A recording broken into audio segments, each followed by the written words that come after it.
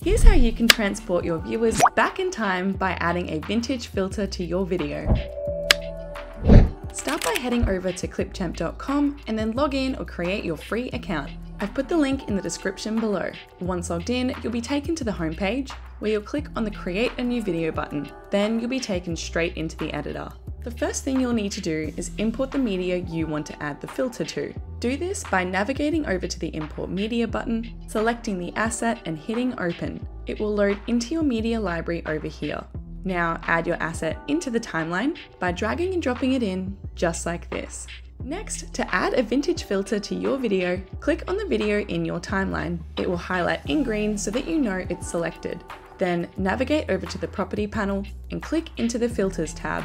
You can then go ahead and hover your cursor over all of the different options we have available. This will allow you to preview which one suits your vintage video aesthetic. Our favourite vintage options are retro, 35mm, old western, and black and white. Then, when you found the one that you want to use, simply click on it and it will apply the filter to your video. You can then adjust the intensity of the filter by dragging the intensity slider left or right until you're happy with the look of your video. Lastly, if you're editing a longer video with multiple video clips, and you want the vintage filter applied to all of them, you can easily do this at the same time with our multi-edit tool.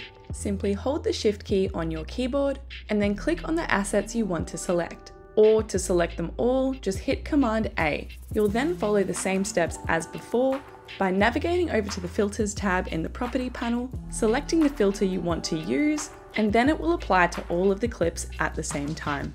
Once you're completely happy with your video, export it by heading over to the export button, selecting your video quality, and then once the export is complete, hit save to your computer and it will download straight to your device all ready for you to share. And that's how you can add a vintage filter to your video with Clipchamp.